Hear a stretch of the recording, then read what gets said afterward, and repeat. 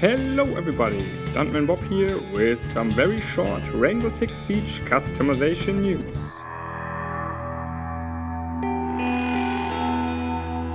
It's not much, but it's something.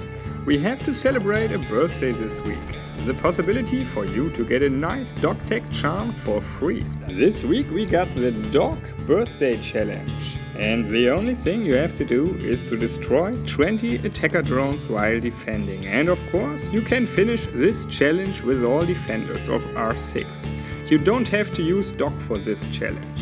Thanks for watching and have some fun with the new challenges.